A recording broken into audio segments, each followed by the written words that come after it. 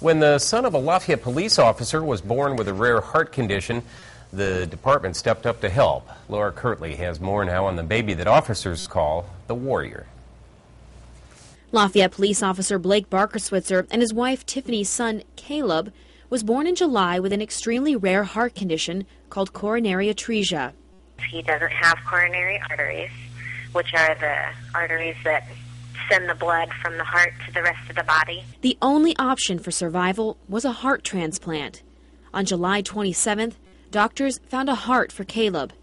Not only did he survive a transplant, a procedure rarely performed on infants, he is thriving. He's the only baby that these doctors know of that has lived with this condition.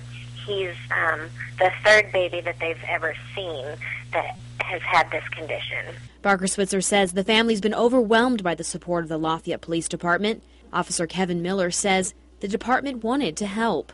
When we got that phone call from Blake that said, um, you know, his son had a fatal heart condition and that he needed a heart transplant, um, you know, it, it really hit home to, to the department. Um, you know, it's just not something that, that we expected. Officers sold these T-shirts to raise money.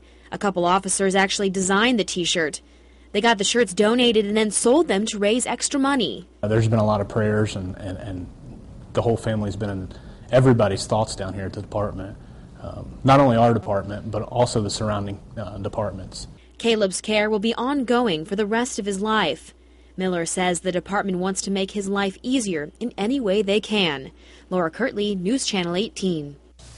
There will be a benefit for Kaleb Barker-Switzer on Saturday. It'll be held at the National Guard Armory in Crawfordsville from 3 to 9 p.m. There will be a silent auction, a bake sale, and games. At 7 p.m., the Christian recording group Sidewalk Prophet will perform. Tickets are $15 for adults and $10 for children. All the money goes towards Kaleb's care.